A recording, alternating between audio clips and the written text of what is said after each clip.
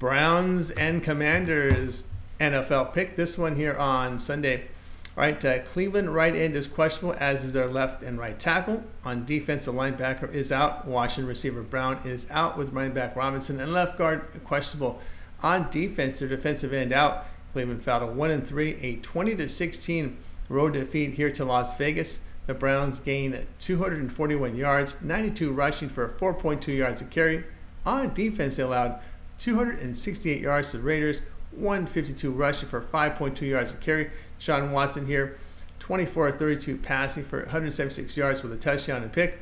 Washington now 3 and 1, a 42 14 road win at Arizona. Commanders gain 449 yards, 216 rushing for 5.8 yards a carry. On defense, they held the Cardinals to 296 yards, 115 passing on 22 attempts. Jayden Daniels here, 26 of 34, 233 yards with a touchdown and pick. Washington has a clear injury advantage against the Browns.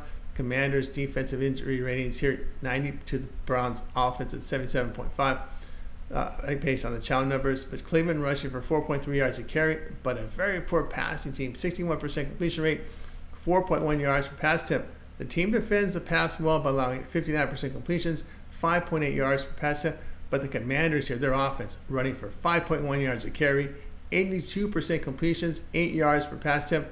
And despite healthy, a healthy defense, the Commanders are giving up a lot here. Not a good defense here, even healthy, when healthy.